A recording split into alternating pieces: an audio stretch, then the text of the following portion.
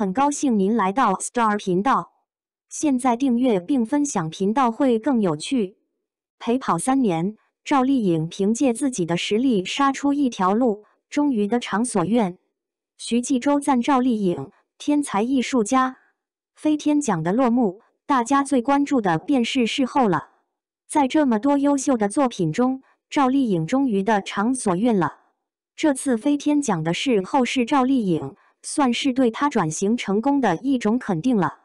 赵丽颖能够走到今天，确实是不容易的。从一开始演配角，慢慢磨练自己的演技，直到《花千骨》之后爆火，赵丽颖依旧不忘初心，一直都在努力增进自己的演技，为了更好的作品而做出努力。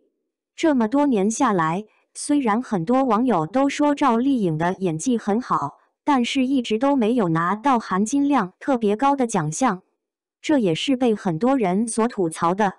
不过这也都是能够理解的，毕竟有这么多演技好的前辈在，赵丽颖还年轻，还有很多机会。李庚希算是年轻演员里面比较厉害的一位了，在长春电影节中，凭借我们一起摇太阳获得了影后。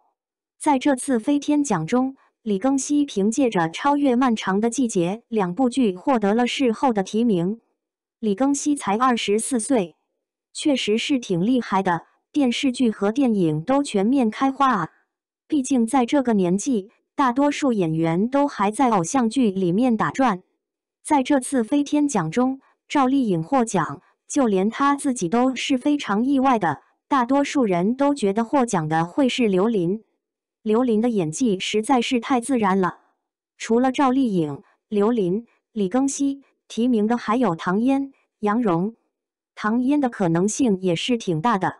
之前入围白玉兰奖的时候，就有不少人是比较看好唐嫣的。只能说，一部《繁花》的影响力实在是太大了。在飞天奖之前，赵丽颖陪跑了白玉兰事后三次了。因为这件事。也有不少人是嘲笑赵丽颖的，觉得她就是没有实力拿奖，所以在获得飞天奖的提名时，赵丽颖才会觉得自己没有机会获奖，就连获奖感言都没有准备。赵丽颖在台上喜极而泣的时候，她真的等了好久，终于可以证明自己的实力。赵丽颖现在就差白玉兰奖就是三满贯了。金鹰奖和飞天奖都拿到了，这对于赵丽颖就是一种肯定。在赵丽颖拿到奖的时候，一条热搜出现，那就是八十五的格局变了。不难看出，这些年赵丽颖在转型是比较顺利的，确实是比其他八十五花要领先的。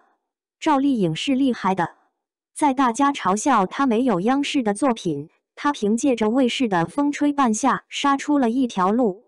赵丽颖这一路走来，有点像《风吹半夏》中的许半夏，凭借自己的努力而白手起家，一步步走向自己想要的地方。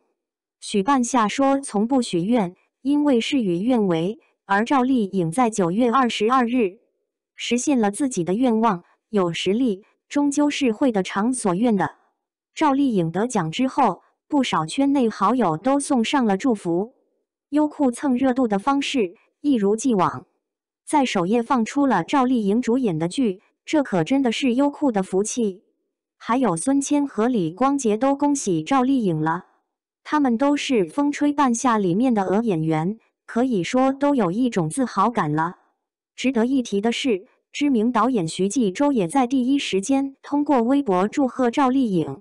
形容他为天才无量的艺术家，认为他获得飞天奖是实至名归。这份赞誉进一步彰显了赵丽颖在业内受到的高度肯定。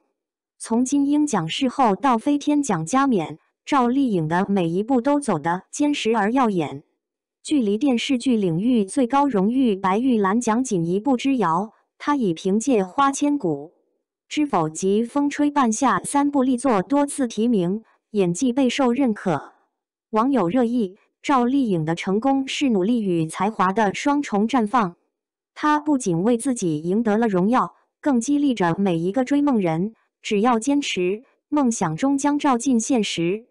赵丽颖用实力诠释角色用真诚打动人心期待她未来带给我们更多精彩作品持续传递正能量。